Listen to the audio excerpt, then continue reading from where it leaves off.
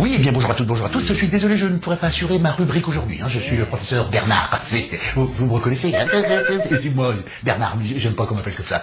J'ai 23 ans, je sais, je suis vieux, on me le dit souvent. Non, je ne peux pas faire ma rubrique aujourd'hui, je ne pourrai pas l'assurer puisque j'ai une consultation. Je suis désolé. Voilà, alors, ouvrez bien la bouche, voilà, ouvrez grand. Ah, ah, Allez-y, ah, ah, ah, ah. Avec, je vois bien l'intérieur. Voilà, Voilà, oui, bien dedans. Voilà. Ah Bon, bah, écoutez, monsieur, je, je suis au regret de vous annoncer que vous avez le coup